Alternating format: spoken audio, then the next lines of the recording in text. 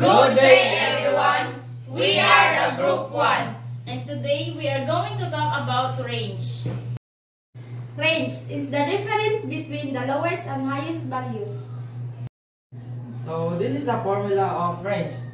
R equals H minus L. R is for range and H is for highest value and L is for lowest value. For example, Princess took 5 tests in chemistry in one semester. Her test scores are 95, 71, 90, 85, 65. Now let us solve them using the range formula. So our given is 95, 71, 90, 85, and 65. Let us arrange them in ascending order.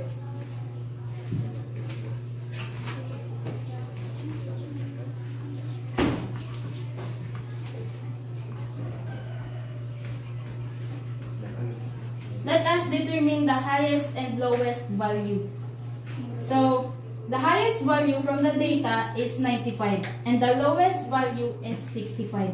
Now, let us use the formula which is R equals to H minus L.